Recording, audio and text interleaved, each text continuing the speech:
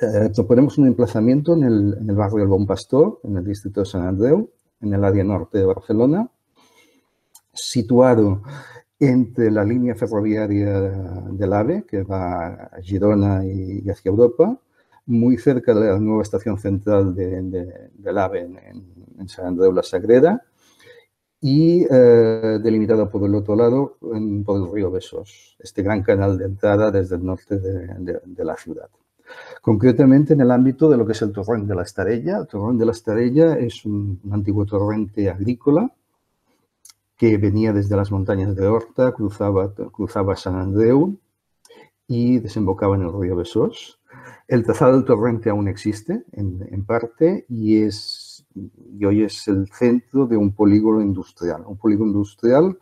eh, que toma el nombre del Torrent de la Estrella, eh, que se empezó a construir a partir de finales de los años 50, principios de los años 60. Es un polígono industrial muy activo y que funciona con muchas sinergias con los polígonos industriales de Montsulís, la Bernera Industrial y el Bon Pastor formando mm, los cuatro polígonos industriales del norte de la ciudad de Barcelona y que queremos mantener como un valor importante. Este espacio había sido un espacio agrícola desde siempre hasta los años 50 y a partir de ese momento empezó a tener esta actividad productiva. ¿Cuál es el carácter del lugar? Primero, la producción. La producción es un valor al que no queremos renunciar y que y queremos firmemente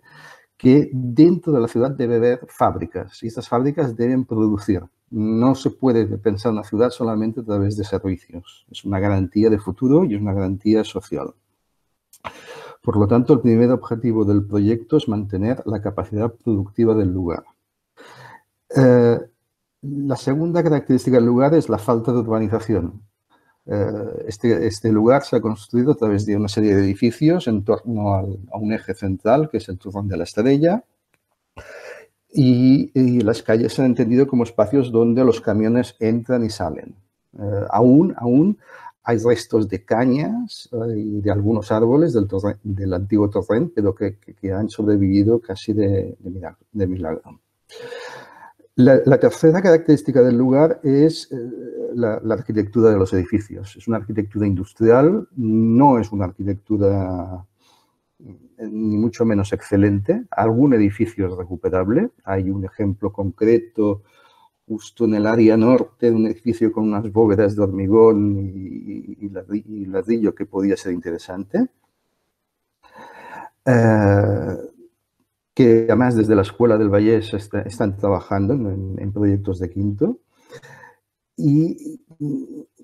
pero no es una arquitectura, digamos, que tiene un carácter ni protegido, ni esencial, ni, fundamental.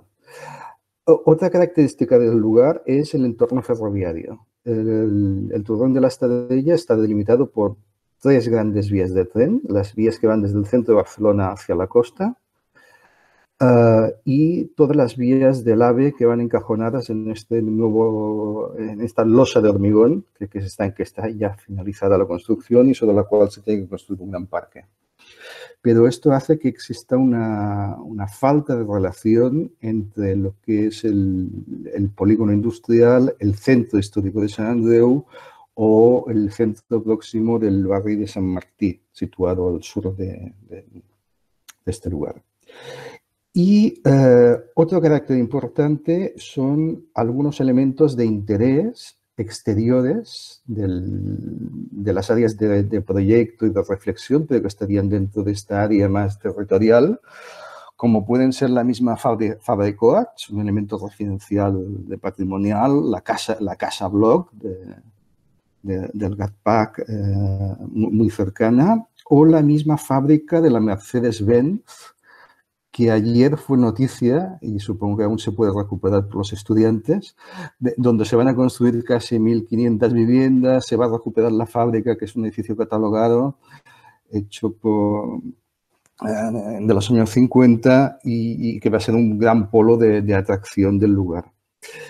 Esto nos lleva a pensar que hay una de, una de las calles, no el Torrón de Estadella, sino la calle de San Adrià, que es la calle que conecta estas... Eh, eh, el, el antiguo barrio Bon Pastor, el río Besós, la línea del AVE, el centro de San Andreu, la fábrica de Coats y la fábrica de, de la Mercedes-Benz, que es un eje fundamental a tener en cuenta. Y si se mira el, el brief del, del, proyecto, se especifica que aunque el proyecto tiene una gran dimensión eh, territorial, hay un, unos puntos situados en, en, la, en la, confluencia de, de, del torrente de Estadella con esta, con esta calle, que son donde se debía trabajar especialmente, ya que son los puntos de, de, de, relación directa entre la producción y el espacio más urbano y, la vivienda ya construida, como las viviendas de la maquinista, un proyecto de, Mateo con, con Joan Busquets, o este nuevo proyecto de la, de la Mercedes-Benz, que ayer eh, se, se, hizo público. ¿Cuál, ¿Cuál, es el programa que se propone sobre Stadia? Es un programa complejo, pero es un programa complejo porque es un programa de nuevo modelo urbano y es un programa en el que se pretende eh, acabar con esta idea del, del gueto productivo, o el gueto residencial o el, o el gueto natural, en, y en el cual se quiere que, que, que un polígono industrial puede ser un espacio para vivir y producir. Por eso el subtítulo del lugar, que es habitar la industria, yo ahora pensaba que hubiera sido mejor poner en lugar de habitar la industria, vivir la industria, porque realmente es lo que queremos, vivir la industria. La industria es un elemento presencial que dé carácter al lugar, pero el cual sea vivible. Por lo tanto, es un programa que, que protege la industria, un es un programa que incide especialmente sobre el espacio público y el espacio urbano, el, mismo torrente de la, de que se debe recuperar como eje,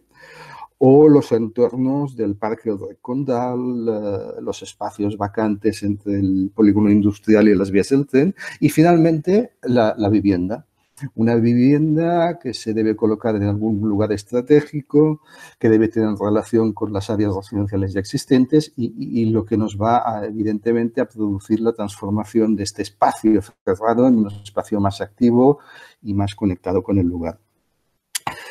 Eh, para finalizar, lo que nos interesa en este proyecto, o en esta edición de Europampo, también en las anteriores, es el papel del arquitecto como estratega urbano no tanto el papel del arquitecto que tiene la capacidad de construir un bello edificio o un correcto edificio, sino el papel del arquitecto como estratega urbano, es decir, el papel que tiene el arquitecto para definir un modelo de ciudad y un modelo de ciudad que se va a generar a lo largo del tiempo. Tal vez es un, un papel muy, muy renacentista. Uh, los arquitectos en la época renacentista proyectaban ciudades y proyectaban ciudades más saludables, que es lo que estamos intentando hacer, eh, proyectar una ciudad más saludable, por lo tanto más ecológica y una ciudad que se vaya reformulando a través del tiempo. Y a partir de aquí, cualquier pregunta que me queráis hacer, o Carmen o Begoña si queréis intervenir, o Jordi, o